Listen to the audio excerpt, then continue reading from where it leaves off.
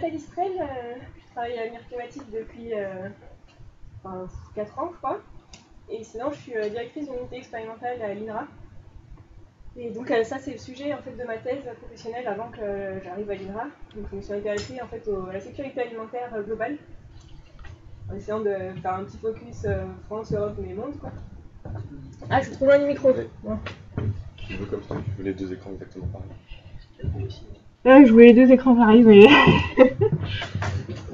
Et donc du coup, voilà, sur la sécurité alimentaire, euh, en me disant, oulala, euh, les problèmes énergétiques, euh, l'azote, ben, il y en a besoin, enfin, il y a besoin d'énormément de gaz pour produire l'azote minéral qui, qui, qui est l'engrais principal pour nos cultures. les pesticides, ben, il y a besoin d'énormément de pétrole pour les faire, donc, oulala, notre agriculture mondiale tient vraiment qu'à un fil. Si dès que le gaz et le pétrole vont devenir bien plus chers, ben, la nourriture, ça va être pareil, et du coup, ça m'a bien tracassé.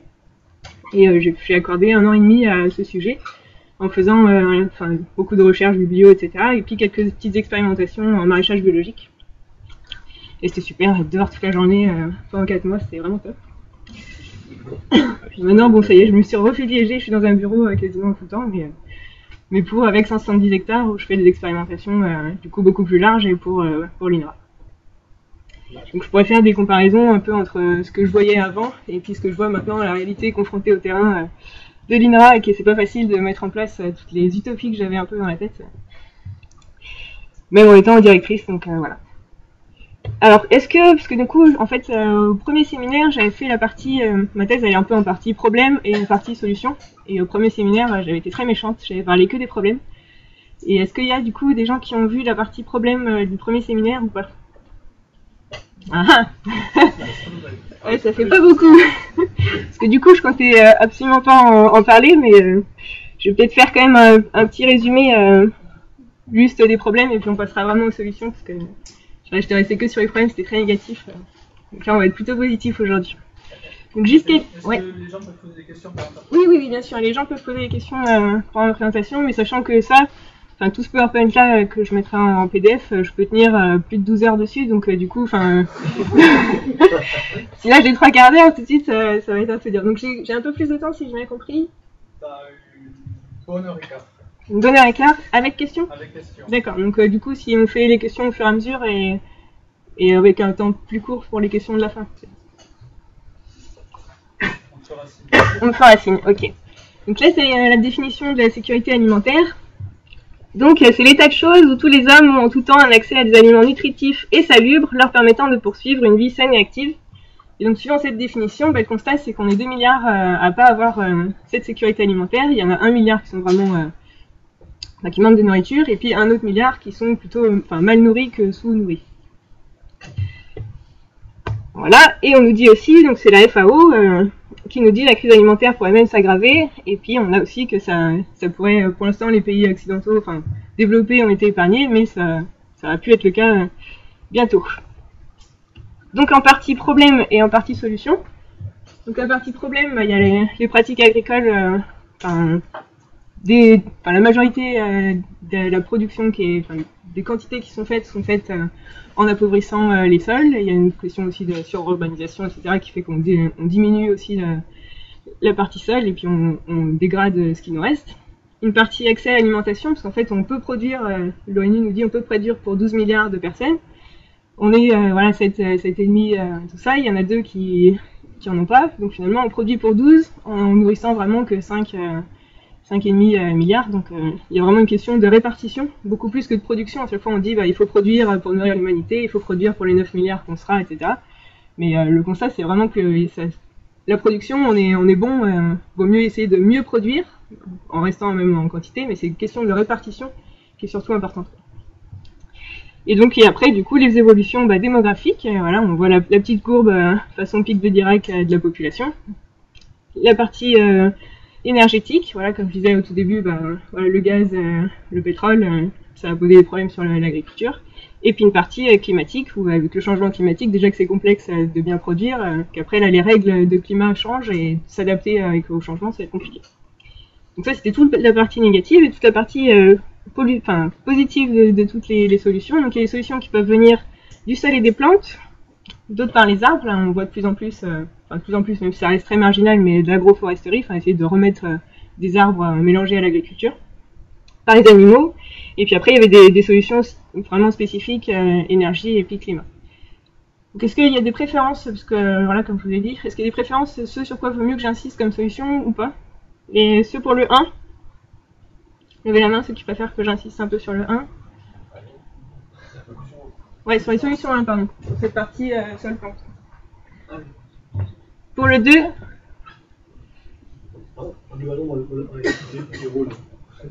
Redites-moi 1 et 2 1 et 2, ça m'intéresse. Ok. Euh, 3 Ok. Euh, 4 Oula Et 5 Ça marche. Ok, ça marche. Donc euh, je retiens 1, 2 et puis, et puis plus 4 et après en passant un peu plus vite sur, euh, sur 3 et 5 euh, si j'ai le temps. Donc là je vous passe toute la partie problème.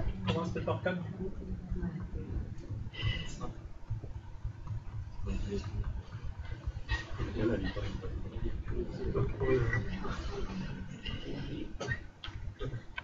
Et donc, alors, la partie euh, résumé des problèmes. Donc, comme je vous l'ai dit, bah, il y a la partie sur les, les bases de l'agriculture, ce qui permet de faire une bonne agriculture. Bah, il y a d'avoir des sols fertiles, d'avoir de l'eau propre, euh, et puis, euh, et puis globalement être, enfin, bien réparti sur le monde toute cette partie fertilité et bonne eau. Et ben, en, voilà, en quantité, ça diminue, de l'urbanisation, etc. Et puis, le peu qui nous reste, on met une pression grandissante dessus et on, dégrade ce qui nous reste.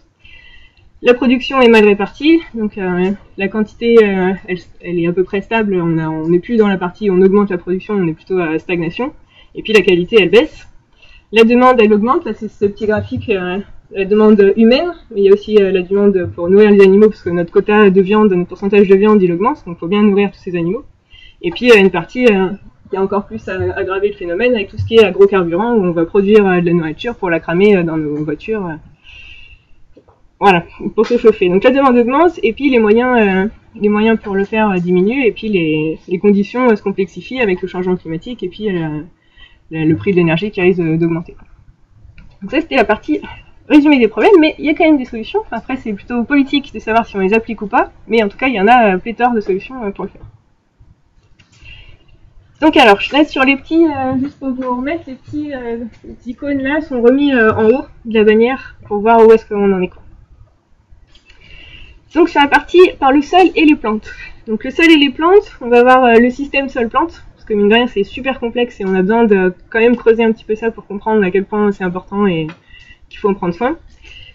Donc euh, comment on peut faire sans intrants chimiques euh, Est-ce qu'on peut trouver des plantes qui sont adaptées et puis modifier Enfin quelle technique on, essaye un tout petit peu, un tout petit bras de mettre à, l'INRA aussi Et puis comment on peut faire aussi avec moins d'eau alors un petit quiz sur cette partie sol plante. Donc qu'est-ce que c'est? En fait, ça, c'est les, j'ai représenté les 30 premiers centimètres de, la couche terrestre. En fait, c'est, super important. C'est ça qui est à l'interface entre le monde minéral et puis euh, le monde vivant, enfin organique euh, qui est au-dessus, l'interface sol-atmosphère. Et donc, dans ces 30 premiers centimètres, euh, j'ai mis 80%. Et qu'est-ce qu'il y a dans... C'est quoi les 80% À votre avis? Voilà, c'est la vie du sol, mais en fait, c'est 80% de la biomasse vivante qui est contenu dans les sols. Donc nous, voilà, nous, euh, vivant au-dessus, on compte pour que dalle. Il y a vraiment 80% de la vie qui est dedans. Ensuite, dans un gramme de terre, à votre avis, combien il y a de micro-organismes Ça se compte en millions Redites-moi. En millions Un peu plus. Il y a un milliard euh, à peu près de micro-organismes dans un gramme de sol. Oui. Vous avez dit que 80% de la masse vivante oui. Sur Terre. Et, sur Terre et dans les 30 premiers centimètres. C'est ça. Et ce qu'il y a au-dessus des 30 cm, c'est-à-dire nous Nous, les animaux et tout ça, c'est. les gros animaux, on est les, dans les 20%. Ouais. Tout ce qui est plancton et tout, ça compte dedans Je ne sais pas. mais c'est de la biomasse terrestre, truc comme ça. Ouais, c'est peut-être juste de la biomasse terrestre, mais. Euh... Bah, c'est vrai qu'avec tous les poissons et ça, hein, mais je m'étais pas posé les questions, donc euh, je regarderai. Ouais. Ok, et dans un hectare, euh, une à quatre tonnes, enfin, donc ça dépend évidemment, le 1 gramme, un milliard de micro-organismes, c'est dans une bonne terre. Hein. C'est sûr que si vous prenez euh, les terres toutes dégradées, ce sera pas le cas, mais... Et sur un hectare, alors une à 4 tonnes De verre de terre. de vers de terre. Exact. Et ça va avec la question d'en dessous.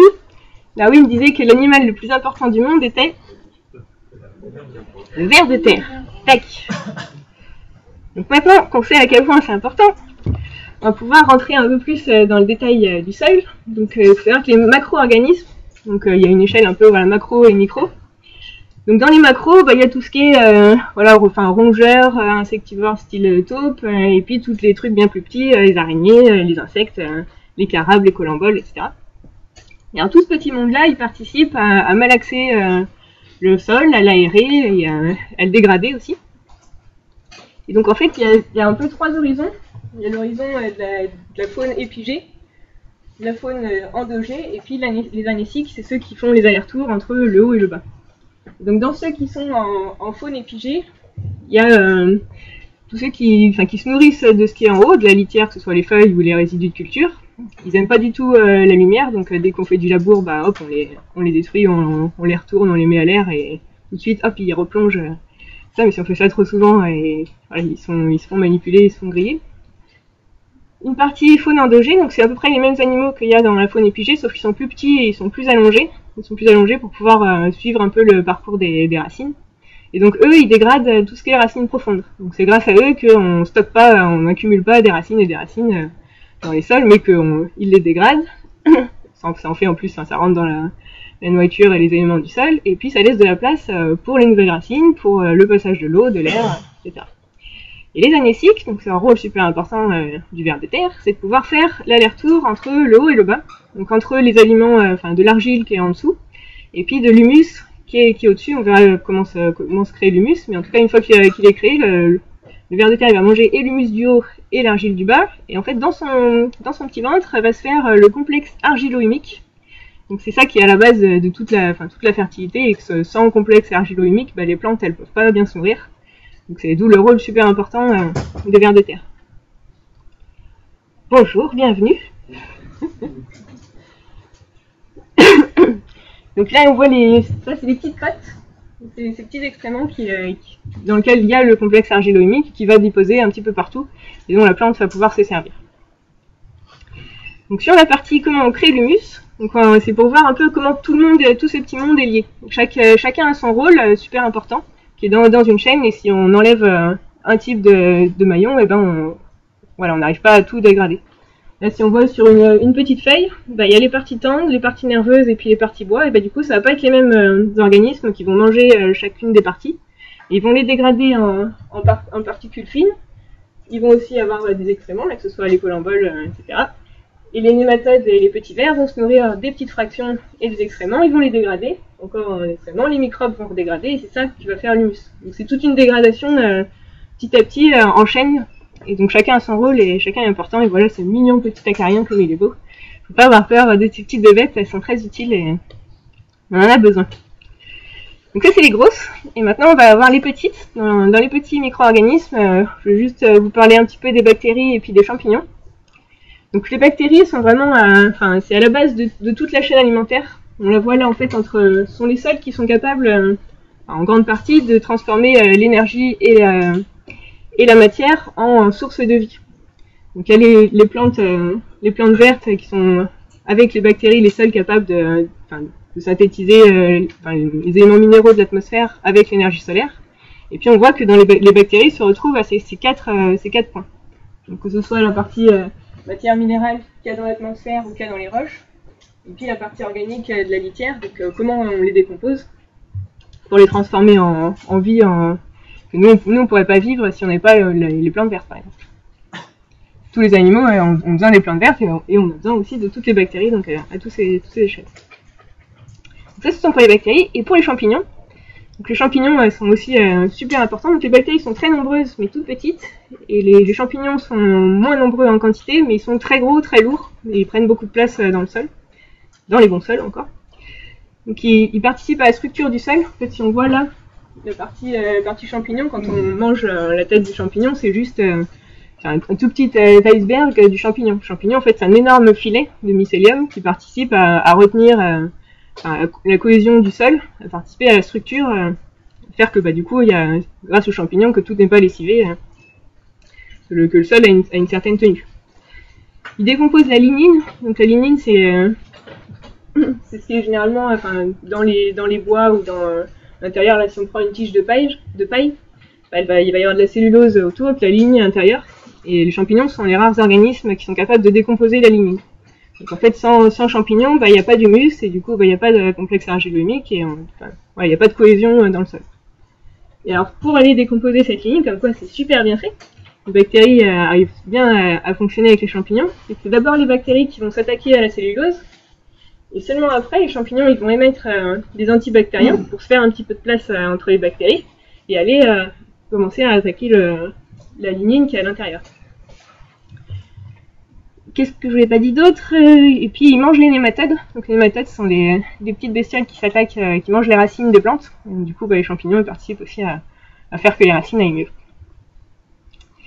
Donc je vais pas rentrer dans tous les détails là parce que sinon euh, voilà je tiens pas. Mais c'est pour euh, redis-moi. Les comment euh, Quand ils sont morts ou... En fait, il les, il les, euh, enfin, comme peu façon euh, serpent, avec le mycélium, il, finalement, il les neutralise et puis il les, il les digère petit à petit.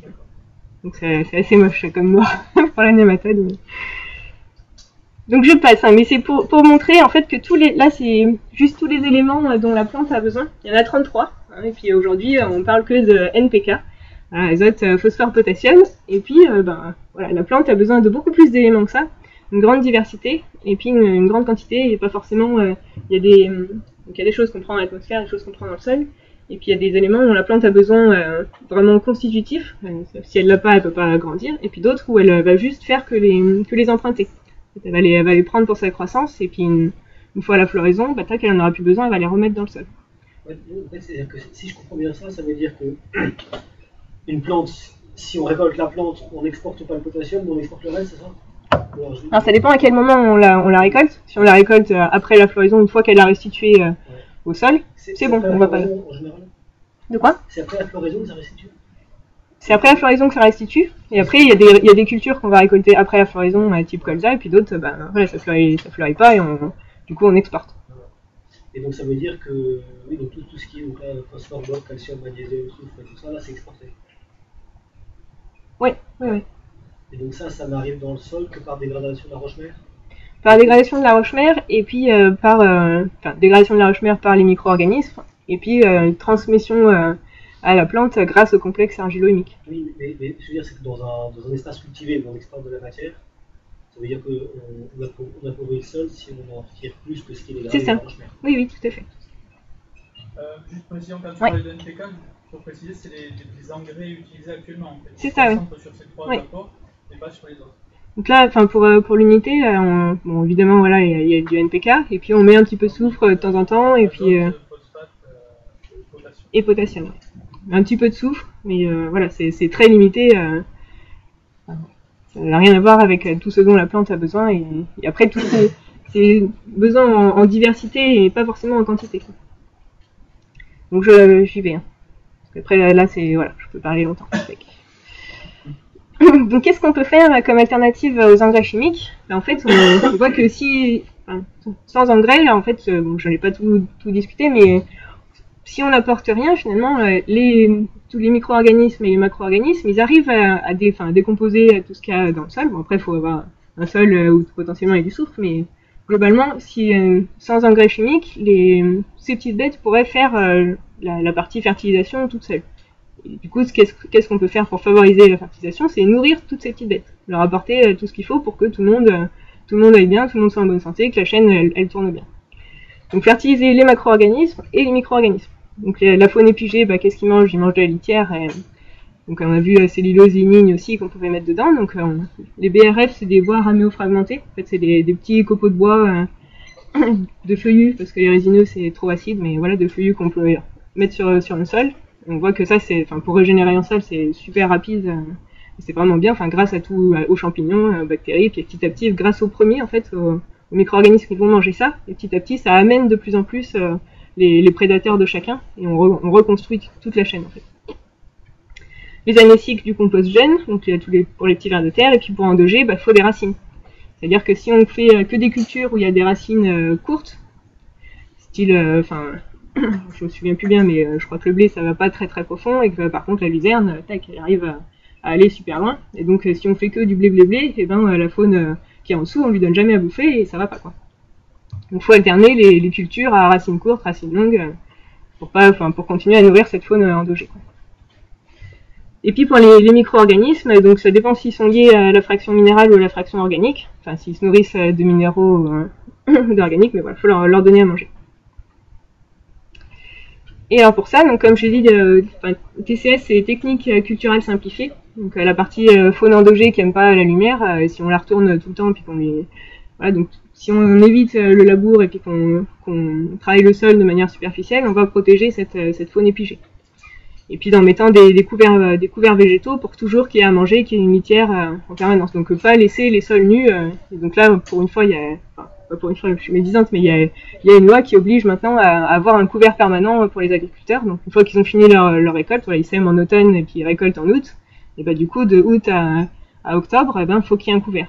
Donc on va semer euh, une culture intermédiaire, euh, style trèfle, qui va en plus euh, mettre de l'azote dans le sol, mais pour euh, voilà pour continuer à, avoir un, couvert permanent. Donc en fait, quand on voit des, sols qui sont complètement nus, c'est soit l'agriculteur bah, il respecte pas la loi, soit il a, eu une dérogation euh, pour euh, pouvoir par exemple faire, euh, enfin nous c'est ce qu'on a sur euh, sur l'unité, de pouvoir faire des des faux semis, enfin des, passages répétés pour détruire les mauvaises herbes avant de planter l'autre culture. Mais, mais bon, c'est une autre technique, mais voilà, le couvert permanent est une, une partie obligatoire maintenant.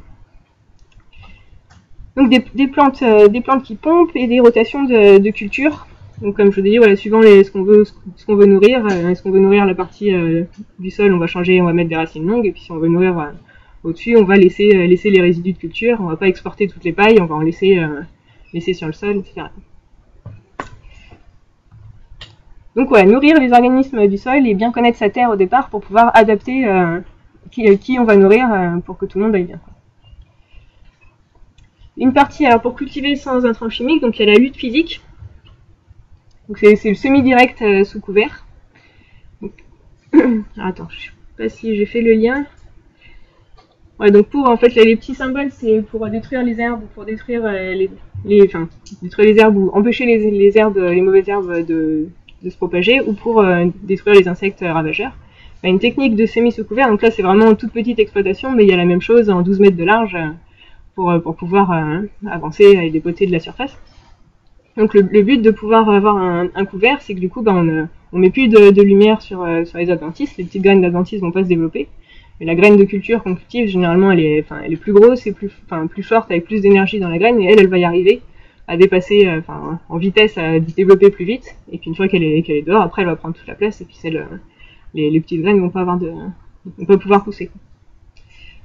Une partie rotation des cultures, euh, voilà, essayer de- d'exporter, enfin, de tourner en exportation. Si on a une plante qui, qui a besoin de beaucoup de soufre, euh, et ben, euh, comme on a dit, euh, la partie soufre, hein, c'est exporté. La- L'année d'après, on va pas remettre une partie, une plante qui a besoin de beaucoup de soufre. On va laisser au temps, enfin, on va laisser au sol le temps de régénérer, euh, aux micro-organismes de décomposer le soufre et de le rendre assimilable par les plantes. Donc, on va revenir avec la plante qui a besoin de soufre, peut-être six ans après, et on va pas essayer de faire euh, des cultures de soufre tous les ans. Une partie paillage, alors de, lutte physique, en fait, c'est de mettre une barrière physique pour pas que les, les adventices elles poussent. Donc là, bah, comme euh, on fait dans notre petit jardin, on peut mettre de la paille et puis du coup, euh, ça refait la même chose que le semi euh, sous couvert. Après, il y a différents types de des, voilages, des tunnels. Enfin, on peut faire, un peu ce qu'on veut. De lutte mécanique, alors bah, ça peut être la petite binette euh, si on, ah, bah, suivant les suivant les pays, puis si on a du temps et de la main d'œuvre qui est capable de le faire.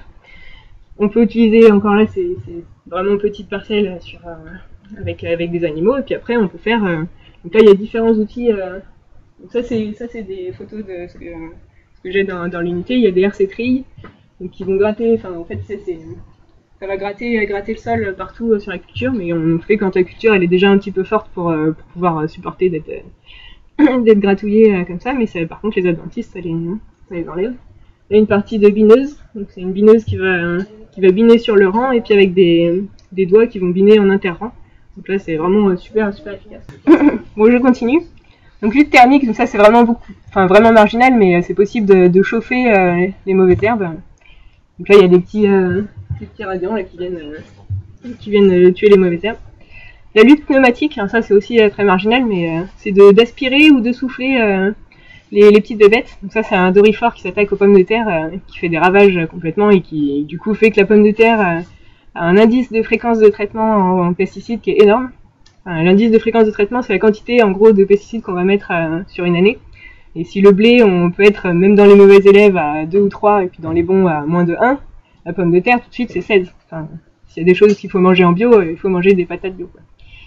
C'est vraiment très, enfin voilà, patates et, et betteraves, c'est vraiment les trucs bien bien chargés. Donc euh, là, du coup, si on peut avoir de la lutte pneumatique pour euh, pour les dorifores, euh, c'est pas mal. Quoi.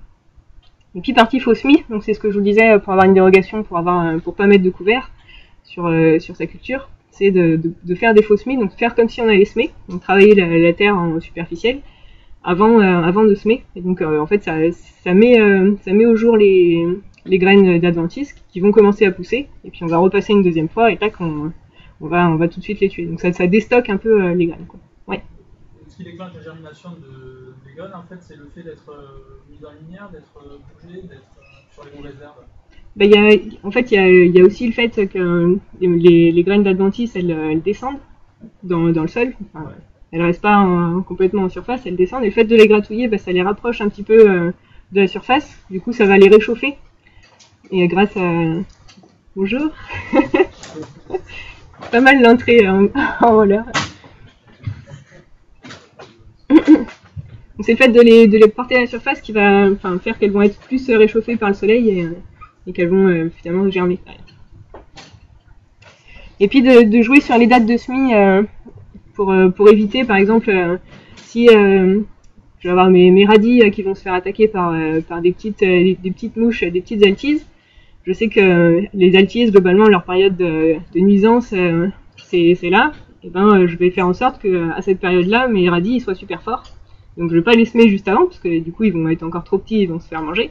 Mais je vais les semer bien plus tôt, comme ça ils vont être suffisamment forts pour euh, résister aux altises. Il y aura quand même des altises, mais les dégâts seront pas, pas énormes. Quoi.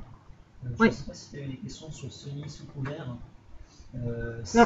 c'est quoi en fait C'est c'est un sol non labouré avec déjà de l'herbe ou quelque chose? En fait, euh, le semis sous couvert, c'est le. Il y a soit la technique faux semis, voilà, on fait, on déstocke, soit la technique euh, de mettre une culture intermédiaire.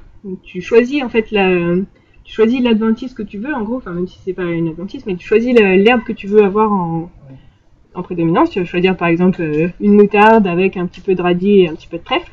Donc avec, euh, tu choisis la moutarde qui va participer à la structure du sol, le trèfle qui va rajouter de l'azote dans le sol. Enfin, tu fais la combinaison qui va bien. Et après, en fait, tu les, tu les couches, tu les coupes, mais tu les, tu les laisses sur le sol. Ça fait un petit, un petit mulch, ça va te faire ton, ton paillage euh, végétal. Paillage, euh, Voilà, c'est une sorte de paillage, et puis après tu vas semer dedans. Donc il faut des types de semoirs euh, différents. A les semoirs classiques, euh, on rentre pas dedans, ça va, on va tout racler, euh, on va tout amener euh, petit à petit notre, euh, notre bio, enfin notre paillage, il va faire, il va s'amoncer euh, derrière l'outil et puis ça va rien faire. Il faut vraiment des, des semoirs qui sont capables d'aller euh, d'aller creuser euh, que là où ils vont mettre la graine, mais d'aller pouvoir euh, ouvrir le passage euh, du mulch. quoi. Sur un sur un, de terre, si elle est euh, partiellement autonome, donc pas un labo, mais une, un congélateur euh, superficiellement sur la profondeur, ça a, la même propriété que de, de la laisser sur le, sur le sol, où, on élimine la propriété du. Alors du coup, quand on, quand on essaye, ce que tu dis, c'est qu'on essaye de, l'incorporer euh, aux parties, euh, au sol en, en- Donc il y a, cette partie-là de vouloir la détruire et l'incorporer dans les couches euh, superficielles du sol, ça fait en sorte que ça, ça accélère la décomposition euh, de, la plante, qui va du coup enfin, participer à nourrir, à nourrir les petites bébêtes du, du haut. Donc ça va être, ça va être bien. Ce que le, ce que le, juste le semi sous couvert quand on les couche, ça va être plus lent la décomposition que si on l'incorpore au sol, ça va être, ça, ça va être plus rapide, donc ça, ça va plus nourrir, mais d'un côté, ça va moins faire la fonction de paillage. Ça va la faire un peu, mais moins. Donc du coup, ça dépend ce que tu veux favoriser, euh, soit nourrir rapidement euh, ta plante, soit euh, vraiment faire écran à la lumière. quoi. Parmi toutes ces techniques, lesquelles étaient les plus utilisées en gros avant la révolution, la révolution industrielle? Bah, je sais pas bien, parce que j'étais pas née. Et mais après, euh, Je veux dire, c'est des trucs qu'on a découverts en laboratoire là en ce moment ou c'est des savoirs ancestraux qu'on redécouvre non, bah, il y a, y a pas, enfin, évidemment, on- de toute façon, on, on redécouvre pas grand chose vu la, la qualité des chercheurs à l'INRA, mais euh, C'est méchant de dire ça,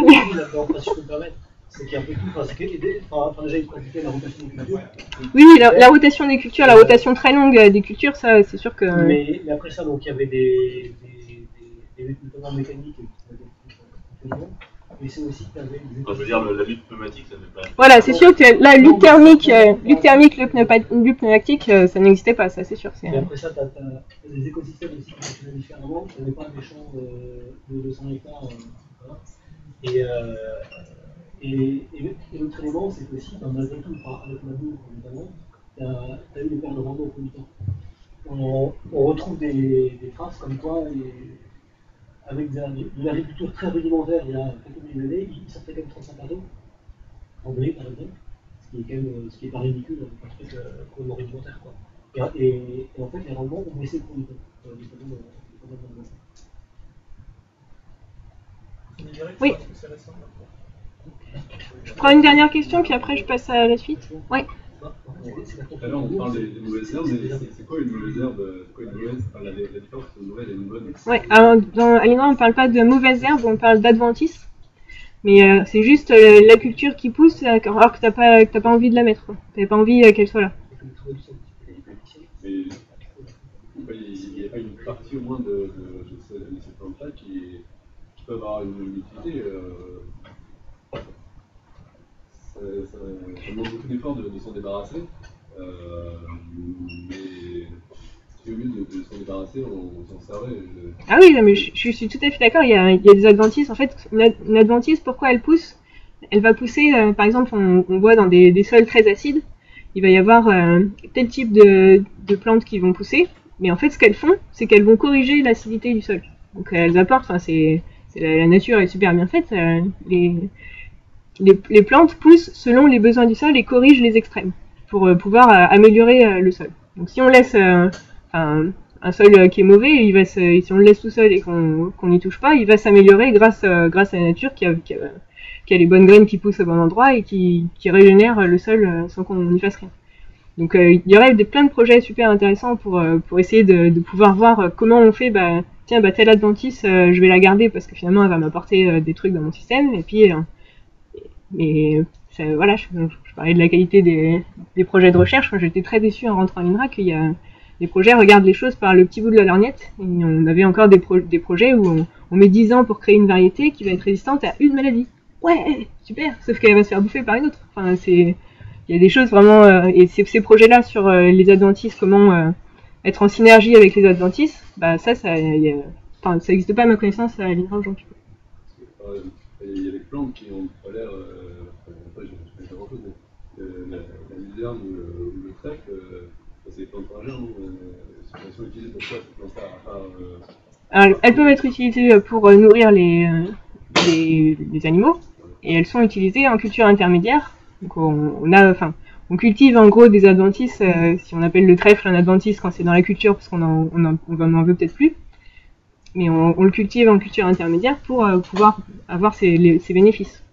Et de plus en plus, on va faire des, on va cultiver en association. C'est-à-dire qu'on on, on cultive le trèfle aussi en association avec euh, des céréales par exemple pour profiter et puis on va cultiver aussi peut-être en association euh, des, pois qui, participent à mettre de l'azote dans le sol avec du maïs qui en a beaucoup besoin. Donc en fait on sème les deux en même temps et l'azote du pois nourrit le maïs. Mais ça reste encore marginal. Ça c'était des pour répondre à ta question euh, sur le- comment c'était avant, cette partie de culture associée était, euh, était faite avant aussi. Et du coup, est-ce que, du coup, la tendance est laquelle? Est-ce que les agriculteurs sont intéressés de revenir un peu euh, à l'ancienne, enfin, d'utiliser ces méthodes Alors ça dépend des agriculteurs évidemment, mais là, enfin, ils vont y être contraints petit à petit.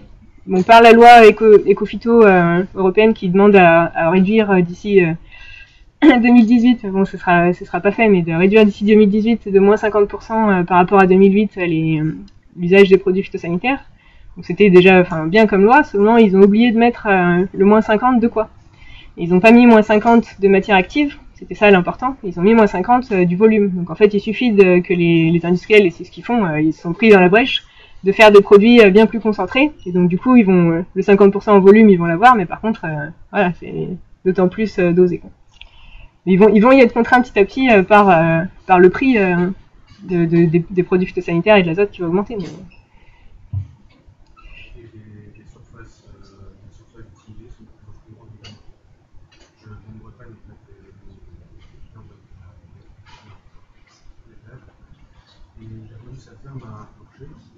lui des, terres parce qu'il a besoin.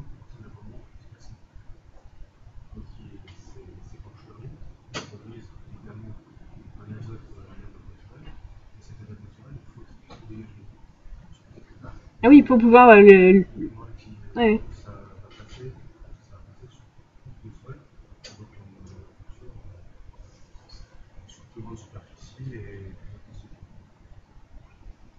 Ok. J'avais dit que je prenais qu'une question puis qu'après j'y allais, mais euh, du coup si tu la gardes en mémoire et puis euh, je, la, je la remets. Et donc il y a une partie euh, de lutte biologique, donc la partie physiologie.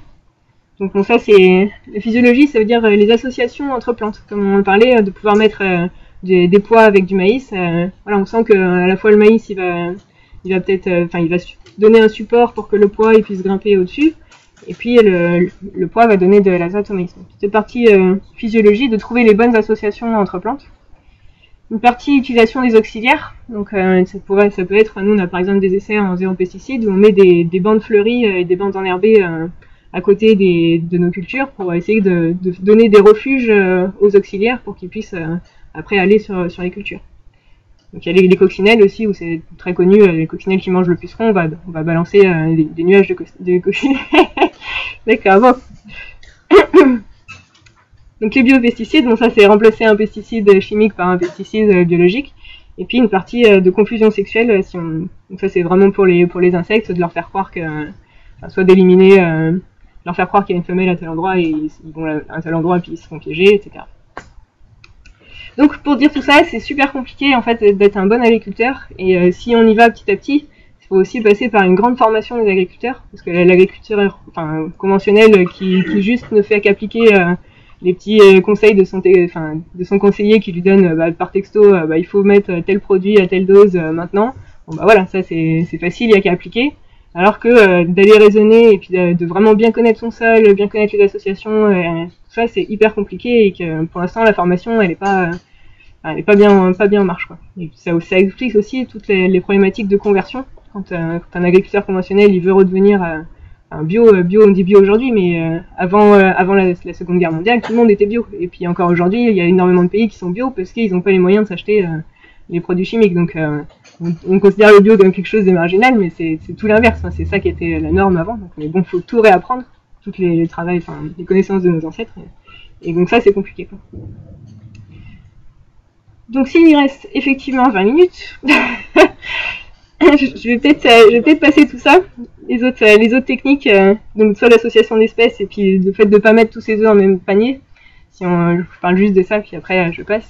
Par exemple si on veut faire du blé, ben il y a plein de variétés de blé différentes. Il y a certaines qui sont précoces, d'autres qui sont tardives, certaines qui sont résistantes à tel truc, euh, plus à la sécheresse, etc et ben plutôt que de cultiver qu'une seule variété euh, qui est poussée à fond, euh, qui va être, qui va avoir un super bon rendement mais dans des conditions parfaites, et ben on va essayer de mettre plusieurs variétés et puis ben du coup on aura peut-être, enfin si toutes les les conditions étaient parfaites, on aura moins de rendement que si on avait cultivé que la variété nickel.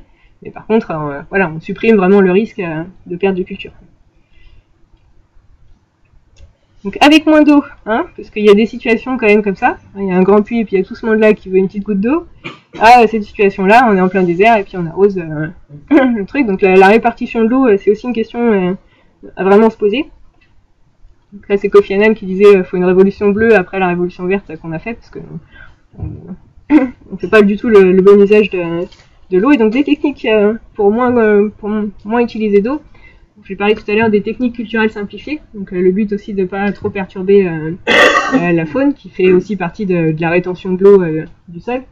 Donc on voit la même, la même où ils ont fait des, essais entre labour, donc je retourne la terre sur 30 cm, et puis des techniques culturelles simplifiées où, je vais travailler les 10 premiers centimètres et, du semi-direct. Ben, là on voit qu'il détruisant finalement la, partie, la, la faune du sol, il n'y a plus ce- ce- cette formation de, galeries euh, qui fait que, par, tous ces micro-organismes, qui fait qu'il y a plein de galeries et que du coup il y a plein d'air euh, possible et il y a plein de passages pour l'eau euh, pour, s'infiltrer. Du coup, on arrive à des énormes flaques. Vous voyez des champs qui sont inondés, c'est pas forcément parce qu'il y a trop plu, hein, c'est parce que le, sol a été, a été compacté et où il n'y a plus d'air pour que l'eau puisse passer. quoi. Et en semi-direct, alors que c'est au, même endroit. hein. Donc là, les pluies d'une parcelle à l'autre sont exactement les mêmes. hein. Donc on peut, on peut voir qu'en en, faisant ces techniques-là, on participe à, moins... euh, parce que là, en fait, du coup, ce qui se passe, là, il a, là, il a plu, donc ça, fait ça. Mais ça, en peu de temps, bah, hop, ça va s'évaporer. Et du coup, bah, le sol, il est tout sec. Il a, il a rien eu comme, euh, comme flotte. Donc euh, après, pour compenser ça, bah, la- l'agriculteur, il va arroser. Donc du fait de faire ces, techniques-là, on retient beaucoup plus l'eau dans le sol et on va moins arroser après par la suite. Bon, et après, il y a différentes techniques euh, pour, euh, pour arroser au pied, enfin, faire en sorte que l'évaporation soit moins bonne, enfin, soit, soit plus petite, etc. Donc je passe. Alors, il y avait, on m'avait dit, énergie ou arbre? Alors, énergie. Alors, pour l'énergie, il y a, une partie, euh, y a, enfin, il y a vraiment deux, euh, deux, deux gros thèmes. Il y a une partie euh, de manger moins de viande, parce que, comme on l'a vu aussi dans, dans les parties demandes, on a les parties demandes pour la nourriture humaine, les parties demandes pour euh, la nourriture des animaux, et finalement, si on, si on nourrissait pas d'abord les animaux et euh, ensuite les hommes avec les animaux, on aurait beaucoup moins de, dépenses d'énergie. Et puis après, donc, de réduire les dépendances au niveau de l'exploitation. Donc ça, c'est un, petit graphe euh, de, Jean-Marc Jancovici qui s'est amusé à faire euh, pour, un peu tous les aliments, la compta carbone de, chaque aliment, avec donc en comptant le CO2, le N2O, donc la- l'azote minéral qu'on met sur les cultures, et puis le méthane. Donc on voit là par rapport à 100 km de voiture, euh, on n'a que, le- que le CO2. Bah, finalement, il n'y a pas que les déplacements enfin, à regarder, il y a aussi beaucoup ce qu'on mange qu'il faut regarder quand on fait notre euh, compta carbone. Et on voit que bon, bah, le veau, bon, bah, voilà, on a fait euh, 180 km de, de voiture en mangeant juste 1 kg de veau. Alors que ça paraît ridicule. Quoi. Ouais. Si, si on parle juste d'énergie, du coup, le bâton de méthane, il faut qu'on la mette par contre. Parce que le méthane ne vient pas de l'énergie cas-là. Alors le méthane, oui, non mais, oui, d'accord, mais la partie, la partie méthane vient de, essentiellement des, des rots en fait, de- des ruminants, et il y a une partie quand même de, qui, est, qui est liée au sol, enfin des évaporations de méthane du sol quand il y a eutrophisation justement et qu'il n'y a pas assez d'air pour euh, et que la, la- la dégradation se fait de manière euh, anaérobique. quoi. Ce que je veux dire, c'est en termes de dépendance énergétique. En termes de dépendance énergétique, oui, oui, je suis d'accord. Le jaune n'est pas, est pas indicatif. Le, Mm. le, le CO2 est sans doute des émissions liées au combustible fossile, donc c'est indicatif de la dépendance mm. énergétique. Oui, oui, je suis d'accord. Et le N2O aussi. Faut regarder le, puisque le c'est, N2O euh, et le CO2. quoi. Puisque c'est lié aux engrais, euh, bon, Oui. CO2 et N2O ne devraient peut-être pas être complètement à la même échelle, cela dit, mais bon, effectivement. Le... Ouais, tout à fait. Mais du coup, enfin, si on enlève les- la partie jaune, ça permet quand même de regarder le graphique. euh, Mais, mais après, aussi, euh, là-dedans, c'est que ça dépend aussi de, des modes d'élevage. C'est-à-dire que quand, quand on Tout à fait. Quand du veau, là, c'est du veau qui est élevé comme Ça, c'est du, du coup du veau en, en conventionnel. Et il y a la. En conventionnel, c'est quoi C'est hors sol Qu'est-ce qu'on entend en conventionnel? C'est. euh, En fait, Attends, ouais. si, si je peux éclairer Vas-y. là-dessus, parce que ça c'est donc c'est des facteurs d'émission euh, du guide ADEME qu'avait fait Jean Covici, euh, qui est le, le créateur de la méthode bilan carbone. Euh, il faut en plus garder en tête que là derrière il y a, euh, il y a des, euh, des règles de comptabilité, c'est-à-dire que pour calculer le veau en fait il prend une vache, il voit sur la durée de vie de la vache et la vache en fait il dit ben, euh, elle va manger euh, du fourrage ou du maïs suivant les cas, Euh, donc elle, a, elle va avoir des émissions liées aux céréales qu'elle mange et les émissions liées à la production des céréales qu'elle a mangées ou du fourrage qu'elle a mangé. Et il va y avoir des émissions de méthane de la vache liées à sa digestion et à la gestion des déchets derrière. Et cette vache-là, dans sa vie, elle va produire du lait, elle va produire des veaux qui vont faire des veaux de boucherie, donc euh, vendus sous le terme de veau, et elle va produire elle-même de la viande quand, euh, au bout de trois années de lactation, quelque chose comme ça, on la tue et on la vend euh, sous le titre de bœuf. Euh, et donc les émissions de la vache, il faut les répartir entre le veau, le lait et la viande de la vache à la ferme. Oui. Donc il y a des règles, un petit peu de comptabilité qui sont là derrière. Et dans le guide, si vous lisez ça, il vous explique que les, la- les deux premières années où la vache grandit, les émissions, ces émissions des deux premières années, on les compte pour la viande vendue bœuf quand elle sera tuée et vendue en, en bœuf. Euh, les émissions de sa phase de production laitière, on les alloue au lait. Et le veau, en fait, euh, quand c'est un veau de boucherie, il est, euh, il est nourri exclusivement au lait pendant 4 à 6 mois, quelque chose comme ça. Ça dépend des exploitations. Des exploitations. Donc le veau, les émissions du veau, ça va être uniquement les émissions du lait. Il va consommer. Voilà. Ouais. Donc, sachant- il y a aussi des petites règles comptables Ouais. derrière. euh, Mais c'est-à-dire qu'en fait, il y a, il y a quand même, enfin, je vois en tout cas en France, il y a, il y a- il y a un bon paquet d'exploitations qui, qui, qui font du, du brotard, hein. Je suis en train de faire du brotard, donc en fait, c'est- c'est c'est des veaux qui sont à l'herbe. Là, c'est des veaux. Et- mais- Sachant que, enfin, quand, tu dis une, une vache, elle produit euh, du lait et des veaux, généralement dans une exploitation, soit tu favorises euh, vraiment le, le lait, soit tu favorises euh, le veau. Oui. Et du coup, c'est Là, du coup, C'est pas si bien dans- de, de ce que j'ai en tête du calcul, on est plutôt dans le type euh, exploitation laitière, où euh, c'est le veau, euh, c'est le, le veau de taureau qui est d'une race laitière et qu'on va tuer en veau au bout de quelques, quelques mois. D'accord. D'accord, oui, Pas, pas une race viande où le, le veau est souvent élevé sous la mer euh, et mange du fourrage. Donc du coup, en race viande, c'est peut-être un petit peu moins en veau, euh, mais à, à creuser. Donc bon, du coup, voilà, dans, dans nos choix alimentaires, on peut euh, orienter pour qu'il y ait moins de consommation euh, d'énergie. Et puis là, si tu parlais, ça dépend du mode, euh, du mode de- d'élevage, euh, enfin de production. Là, en bio, on voit que globalement, euh, toutes les émissions de, bah, de N2O sont, quasiment éliminées parce qu'il n'y a pas cette partie engrais azoté minéral qui est mis sur les sols. Donc tout de suite, on, diminue vraiment. Même s'il y a- encore un petit peu de respiration du sol qui, émet du N2O, c'est très marginal par rapport à tout ce qu'on met donc, en bio. Là, en tout cas, sur le N2O, on diminue, on diminue beaucoup. Et puis, finalement, il y a moins 30% de GES euh, sur, sur les viandes rouges. Et puis, euh, après, pour les, pour les, euh, tout ce qui est partie végétale, on arrive à diminuer quasiment de 50%, donc euh, c'est quand même énorme. quoi. Nathalie Oui. Sur le, bio, il y a quand même de l'épandage de, de fumier animal. Oui. Il y a des émissions de N2O, il y a ça Oui, oui, hein. tout à fait. Mais elles sont, elles sont beaucoup, enfin, elles sont bien moindres parce que en fait, la décomposition se fait pas de la même manière. L'azote minéral qu'on qu'on met sur les cultures en conventionnel, c'est de l'azote liquide. Voilà, on épand, euh, on vaporise comme ça, et c'est de l'azote qui est hyper, euh, qui est très assimilable euh, par les plantes et qui est pas mal volatile. Donc en fait, il y a une grande partie qui, qui, qui repart facilement euh, dans l'atmosphère. Alors que la partie fumier, même, donc même s'il y a des fumiers comme les fientes d'oiseaux qui sont qui sont aussi assimilables, mais la partie, le, le fumier de bovin par exemple, il met beaucoup de temps à se décomposer. Il, est déjà beaucoup moins riche en azote, et puis l'azote va être, l'azote assimilable par les plantes va être redonné euh, d'année en année. Enfin, c'est vraiment sur du long terme qu'on va qu'on va euh, fertiliser le sol et pas juste euh, tac sur l'année, sur les quelques mois. Quoi. Mais ça dépend quand même du type de lisier. Parce que- Oui, ça dépend du lisier. de la paille, effectivement, Ouais. c'est lent, mais si c'est du lisier sans paille, c'est peut-être Oui, un oui. peu la même chose qu'un engrais chimique classique. Mais enfin voilà, mais beaucoup moins encore. L'azote liquide, on, on fait quatre épandages dans l'année parce que si on n'en fait qu'un, tout est parti dans le sol, lessivé ou dans l'air et on plus, il y en a plus dans la terre. Quoi. Alors que pour les fumées, ça reste plus longtemps.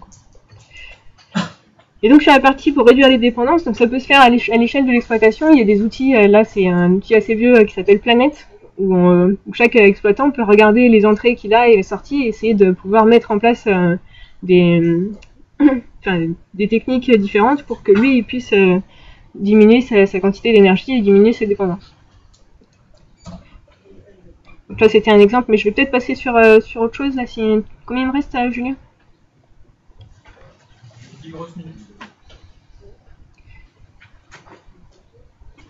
Ouais, donc ça c'est un peu, enfin toujours dans la même optique euh, que la compta, euh, que la négawatt, c'est d'abord essayer d'enlever les, choses dont on n'a pas besoin. Si on, si on peut remplacer des, engrais organiques, à mettre des engrais organiques à la place des engrais minéraux, bah tout de suite, euh, voilà, et puis de pouvoir euh, après seulement mettre, euh, mettre du renouvelable. Donc il y a les pratiques d'abord économes en, énergie, une partie sur les équipements, mais ça c'est, enfin, il y a des contrôles de tracteurs pour faire que le tracteur il soit mieux, euh, qui, consomment moins de CO2, euh, etc. Et puis après, il dire des, des énergies renouvelables. Du coup, je pense que s'il me reste 10 minutes, je vais passer sur autre chose. Ça, c'était juste un petit exemple. euh, enfin, il y a euh, 25, euh, je crois, euh, exploitations en vaches laitières euh, qui ont fait euh, cette petite euh, compta euh, d'énergie dans l'outil Planète. Et puis, on, voit en lait euh, du lait intensif, de l'extensif, euh, et puis du, tout à l'herbe. Où là, du coup, y a, les vaches ne mangent pas du tout de céréales. euh, parce que pour une exploitation, on va cultiver des céréales pour pouvoir euh, nourrir les, bovins, alors qu'il y en a dans certaines exploitations, on cultive rien du tout pour eux, on les laisse dans la pâture et puis terminé. C'est C'est quoi Donc là, là l'unité, donc c'est, il y a deux graphiques. Il y en a un qui est, euh, là, c'est l'unité en, en litres par vache laitière. Et en- du coup, en voyant la, la partie, euh, enfin, compte à carbone euh, en litres par vache laitière, et puis là, en, en ramenant finalement au, au litre euh, enfin, de lait produit. Parce que est-ce qu'une enfin, qu'une vache produise énormément ou, ou finalement que l'exploitation produise euh, énormément de lait, c'est pas du tout la même chose. Donc finalement, cette échelle-là est plus, euh, représentative euh, de, du lait produit. Donc maintenant, est-ce que je fais quoi là? Les arbres ou, les animaux?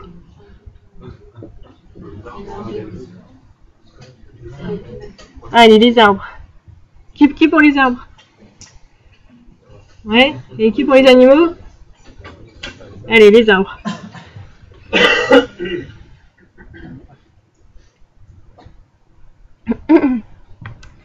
Donc les arbres, c'est vraiment euh, c'est super. Malheureusement, en Picardie, euh, ils nous ont tout rasé. L'exploitation agricole, c'est euh, tout plat et sans arbres, donc c'est vraiment déprimant. Et... Tu. Ah bah écoute. Ouais, tous les passages sur l'Indra aussi, merde.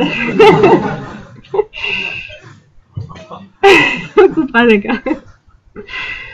Donc il y a tous leurs bénéfices à la fois euh, sur le sol et tous leurs bénéfices euh, sur le climat, parce que grâce à eux, on peut euh, modifier les microclimats et donc du coup atténuer les, changements climatiques. Et puis donc comment s'en servir vraiment en faisant de la, de la culture. Donc les arbres. Alors, la fertilité, la biodiversité, la lutte contre l'érosion, la rétention d'eau. Donc ils arrivent à faire tout ça, augmenter la fertilité comme on l'a vu avec les, petites feuilles qui, tombent par terre, les petites branches euh, qui vont nous faire euh, du BRF pour nourrir toute notre euh, petite faune euh, du, dessus là. Et puis ils ont tout un système raci- racinaire euh, énorme qui va nourrir aussi la, la faune du dessous et puis qui va faire tout un filet euh, façon champignon mais en, plus costaud pour euh, retenir euh, la structure du sol. Il lutte ainsi contre l'érosion. Il retient l'eau parce qu'en fait un arbre est très généreux. Il va, il va pomper de l'eau mais il va en pomper donc euh, loin parce qu'il a des super racines, mais pour en redonner aussi à, ses autres copains. Donc ça c'est vraiment un- généreux. Il pompe pas l'eau que pour lui mais il pompe aussi pour euh, tout le monde qui va pousser à côté de lui.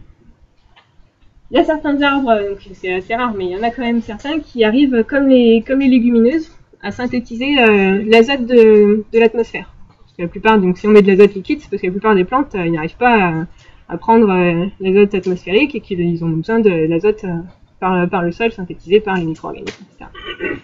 Donc du coup, il y a certains arbres qui arrivent à faire ça, donc c'est encore top. Ça veut dire qu'ils peuvent amener euh, de l'azote au sol et donc faire que nous, on en, a- on en moins.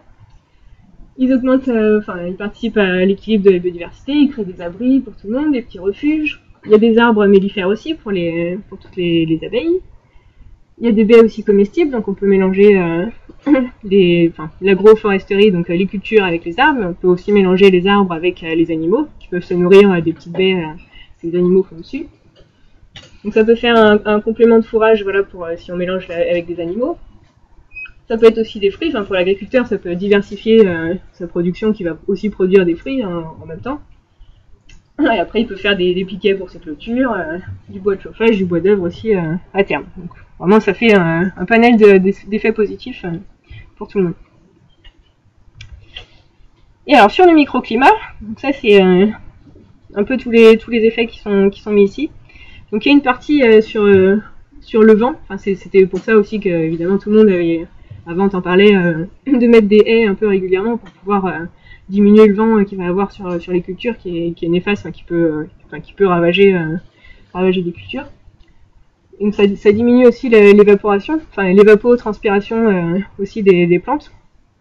Et puis ça diminue aussi la propagation, euh, la propagation de maladies. Avec, euh, du vent, euh, si sur toute, une parcelle il y avait juste un petit, un petit îlot de rouille jaune qui commençait, enfin c'est une maladie qui s'attaque aux céréales par exemple, qui commençait à, arriver, bah, avec du vent, bah pouf, au lieu d'avoir un petit rond, et ben euh, le rond grandit et la maladie se propage bien plus vite. Donc voilà, de mettre, de mettre des vents pour faire, pour faire barrage, de mettre des arbres pardon pour faire barrage. Il y a une partie aussi de modération des, températures. Enfin, on voit bien euh, en forêt l'été, bah, il fait plus frais euh, que quand on est en prairie, et puis euh, inversement, il fait moins froid en hiver. Il y a une partie de, diminution de l'éclairement, donc que ce soit pour, pour les animaux, trouver de l'ombre sous, sous les arbres. Et puis, du coup, pour un peu aussi de, éviter d'être complètement cramé dans certains pays, euh, que les, cultures soient complètement cramées, même si on a besoin, les cultures ont besoin de soleil, euh, trop de soleil c'est néfaste aussi. Et du coup, diminuer aussi l'évaporation euh, à l'ombre. Ça augmente le pourcentage euh, d'humidité. Et puis, alors ça, très curieux, en fait, de, de 1 à 10% de pluviométrie en plus, comme si du coup l'évaporation des arbres fait que du coup bah, il y a plus d'humidité à l'atmosphère et que du coup il y a plus de retombées en pluie. Ça, est-ce que c'est vrai petite échelle alors c'est ça. Évidemment, si tu mets juste une toute petite euh, haie, euh, ça va pas faire ça. c'est- quelque chose, enfin, je, suis, je, suis, je, suis, enfin, je suis assez convaincu parce que je vois chez nous, là, on a un gros massif forestier, euh, où effectivement, euh, il, il pleut 50 à 100 000 mètres de plus qu'à côté. Quoi. Mais, euh, et ça modifie le- la circulation, des, et notamment les orages et, et les Ouais.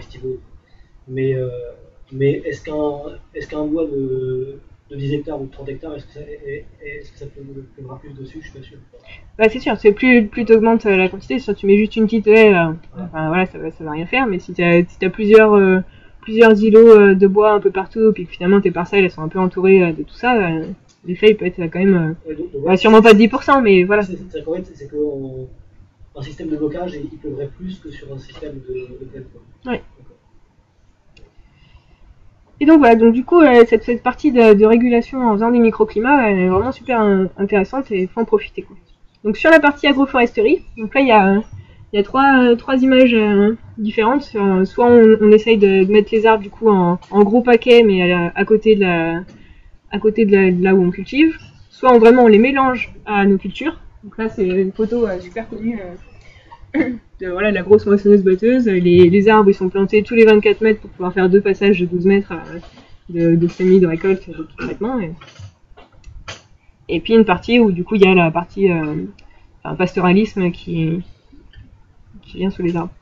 Ça c'est un petit, un petit graphique pour vous montrer euh, en fait euh, évidemment quand euh, la culture qui est juste là à côté de, de l'arbre, eh ben, elle, est, elle est pénalisée parce que euh, voilà, elle a peut-être un peu moins de place pour ses racines, elle a trop d'ombre, etc. Et là, c'est les, les mètres. Plus on s'éloigne euh, des arbres, c'est ça, plus on s'éloigne ici euh, des arbres, plus on, va euh, petit à petit augmenter les bénéfices et avoir un rendement supérieur. Ça, ici, c'est le rendement à 100% d'une d'une enfin, d'une placette sans, sans arbre. Et donc, quand on est trop près, ben, on, on perd en rendement. Puis quand on s'éloigne un peu, on a des bénéfices. Jusqu'à si on est vraiment trop éloigné, ben voilà, on n'a plus de, plus de bénéfices de l'arbre. Donc ça, on est, on essaye de, de maximiser le truc, voilà, et puis ça tombe bien, c'est à peu près la largeur de, de- du pulvé ou, de, ou du semi ou de la moissonneuse batteuse, on a 12 mètres, et puis du coup, bah, tous les 24 mètres, c'est bien. voilà. Je faire ça, assez quoi. surpris parce que, même si euh, je suis prêt à croire ça, évidemment, ça m'arrange. mais, euh, les, les agri- les agriculteurs qui sont en bordure de forêt disent toujours que sur la sur une largeur qui, qui correspond à la hauteur des arbres, donc ça veut dire que les arbres font 30 mètres, ils ont besoin de 30 mètres où ils constatent des rendements moindres. Il y, a, il y a plusieurs, euh, il y a plusieurs choses, parce que à la fois les, enfin, la partie forêt, elle peut abriter euh, énormément d'auxiliaires, mais elle peut abriter aussi euh, des, des ravageurs. Non, mais- ouais, non, mais c'est que des rendements. Ah, sur la partie ombre Parce qu'on on voit que les, les cultures sont moins hautes, elles sont, elles sont moins, quoi. Mhm. Ça, ça descend. Après, entre, entre le bois et puis là, juste une rangée d'arbres, je pense que l'impact n'est pas le même. Et là, ça, ce graphique-là, c'est vraiment sur la partie enfin, Oui, rangée d'arbres. Du coup, je pense que euh, il y a peut-être euh, moins, latéral qui, qui, qui, voilà, l'éclairement latéral qui peut se faire et que euh, c'est peut-être moins le cas quand tu as vraiment un, un gros, euh, un gros bois à côté. Quoi. Il y a un travail sur l'orientation des d'arbres par rapport justement au. Alors, il y a un travail d'orientation. Ah oui, complètement. enfin, L'orientation des, des arbres, elle est, euh, c'est c'est toujours la même dans euh, chaque fois, chaque projet d'agroforesterie. ils- Voilà, ils se mettent euh, est-ouest. euh, et puis, par contre, il y a un travail euh, du coup de d'orientation par rapport à la pente, surtout.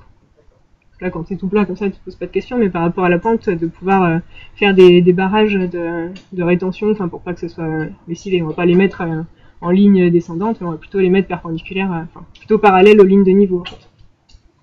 L'Est-Ouest, ça crée pas trop d'ombre. C'est ça. Non, bah non, justement. Oui.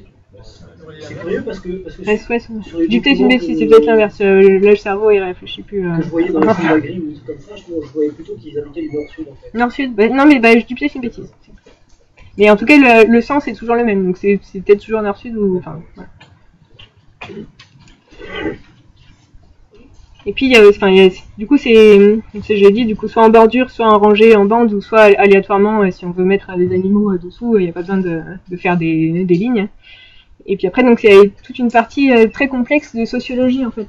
De sociologie agro-silvopastorale. Et ça, il y a encore une fois, euh, pas pour euh, critiquer, mais c'est tellement difficile d'avoir une vision d'ensemble des, projets qu'on on va pas regarder ça. J'ai vu, c'est-à-dire d'essayer de trouver les arbres qui vont mieux correspondre à tel type, tel type d'animal, et puis les arbres qui vont mieux s'associer avec tel type de culture, et puis les, cultures qui vont mieux s'associer avec les animaux. Enfin, c'est toute cette partie-là, elle est, vraiment complexe de trouver les bonnes associations. euh. Donc il y, a- des travaux, mais c'est encore voilà, à petite, échelle euh, de trouver ça.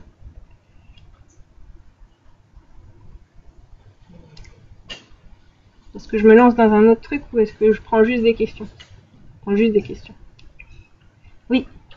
Euh, c'est un peu de question, mais parmi toutes les solutions présentées, euh, nourrir les micro-organismes, les micro-organismes, utiliser des arbres, euh, faire attention à gérer, euh, des solutions moins énergivores. Alors deux questions. La première, c'est à l'heure actuelle, dans les pays riches, quelles sont parmi ces solutions, lesquelles sont rentables, sont économiquement viables, par rapport à une solution plus conventionnelle et, euh, et sinon, quels, sont, quels seraient les leviers pour faire en sorte qu'elles le deviennent? Mhm.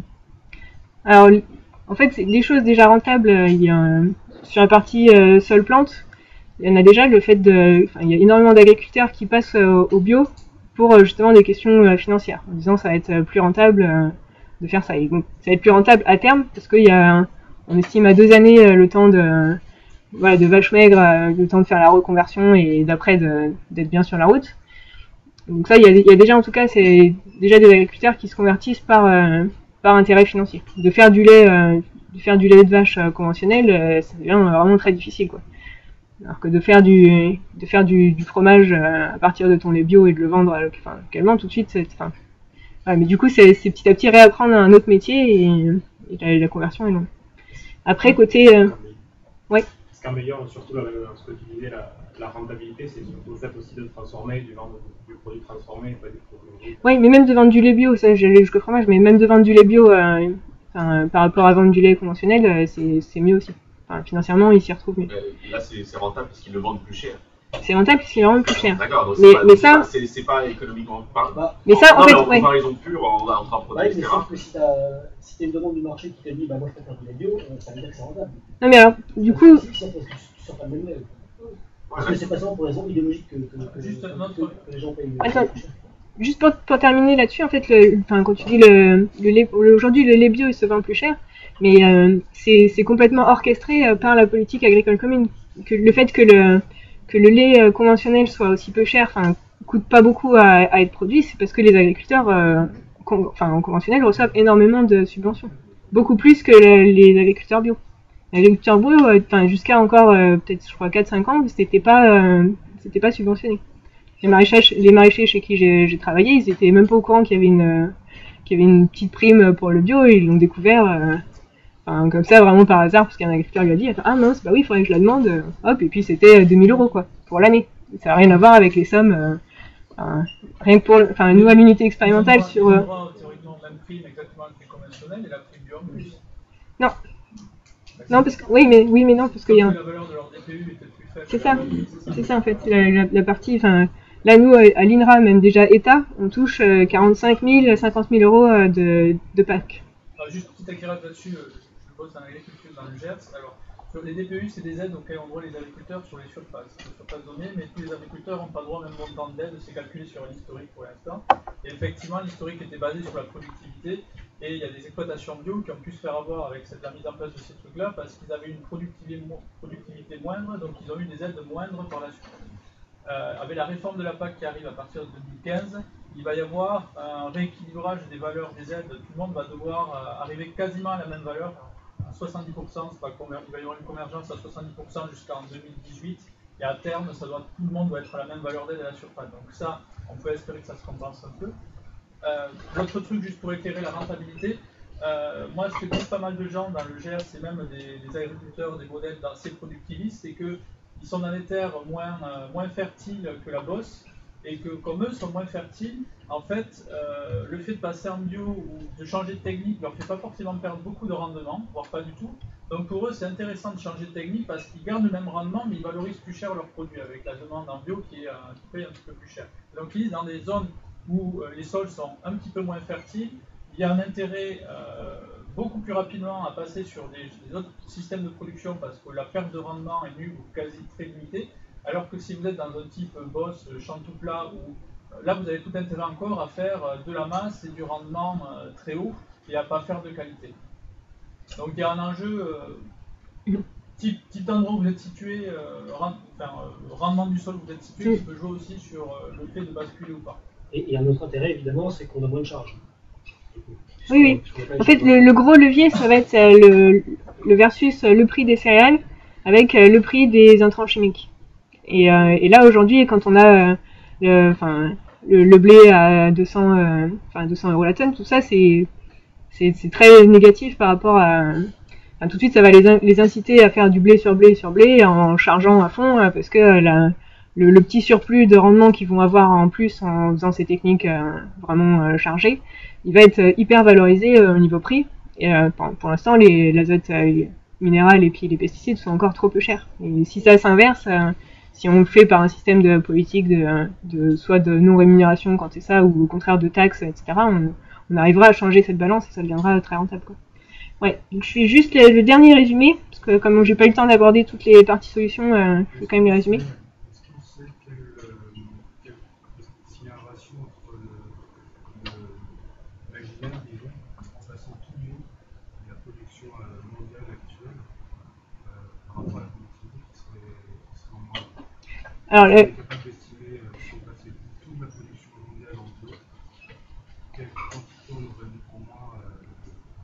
Donc il y, a- il y a une quantité en moins, mais c'est des- enfin, on pourrait en fait, euh, il y, a eu- il y a eu des rapports euh, là-dessus euh, qui ont été présentés à l'ONU, qu'on peut tout à fait euh, enfin, reconvertir euh, tout le monde en bio et continuer à nourrir euh, tout le monde, si aussi, euh, enfin la grosse condition, qu'on réduise grandement notre pourcentage de viande dans l'alimentation, qu'on remplace par des protéines euh, végétales, et il y en a plein, et on est complètement capable de, de nourrir équilibré en protéines euh, tout le monde si on fait, si on réduit le pourcentage euh, de viande. Parce que là, aujourd'hui,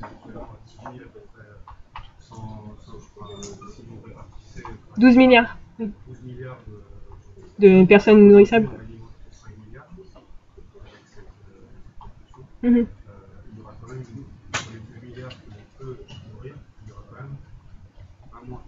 Mais si l'objectif, là on peut nourrir 12 milliards, euh, si l'objectif c'est d'en nourrir 9, en- en- avec euh, la façon, on réduit le pourcentage de, de protéines animales et puis on, on répartit mieux euh, la nourriture, c'est totalement possible de, de faire ça, enfin de revenir. Ouais. Je peux faire juste le résumé avant qu'on coupe et puis on discutera à la pause après. Donc là, sur le résumé d'à partir les solutions par les, les sols et les plantes, donc voilà, nourrir et protéger les organismes du sol.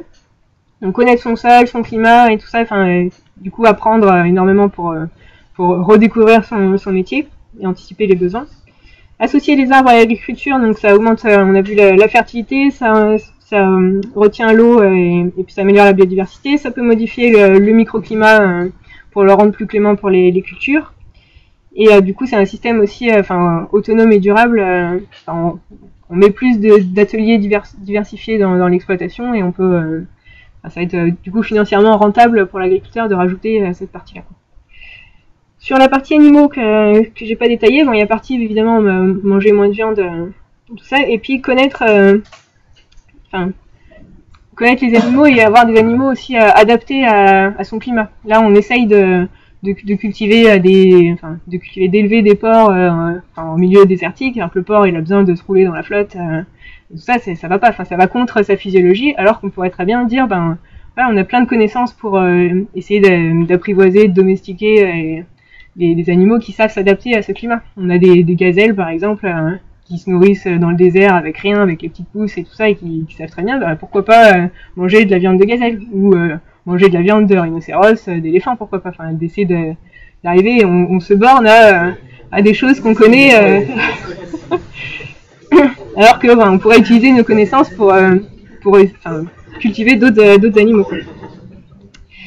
Sur la partie euh, énergie, donc euh, que chaque exploitation fasse son, bilan énergétique et puis du coup bah, manger moins d'énergie. Et sur la partie euh, la partie climat, on a vu, euh, enfin on l'a pas vu justement, mais on peut euh, à la fois donc euh, jouer sur l'atténuation. Enfin l'agriculteur, l'agriculture, en- enfin l'agriculture et forêt au niveau mondial c'est 30% à peu près. euh, enfin je sais plus où en est globalement, mais bon c'est un, gros un gros quart ou un, petit tiers euh, des émissions de, de GES. Et en fait on a un gros levier là-dessus de stockage de carbone euh, dans les sols. Et que nos, activités, enfin nos pratiques euh, de retournement de sol, euh, etc., ça, ça a un gros impact. euh, à la fois, on peut vraiment stocker énormément de carbone euh, dans les sols en, arrêtant de, de labourer et puis en faisant des, techniques euh, simplifiées. Et puis j'ai oublié ma deuxième idée, mais c'est pas grave, parce qu'on est fini. Voilà.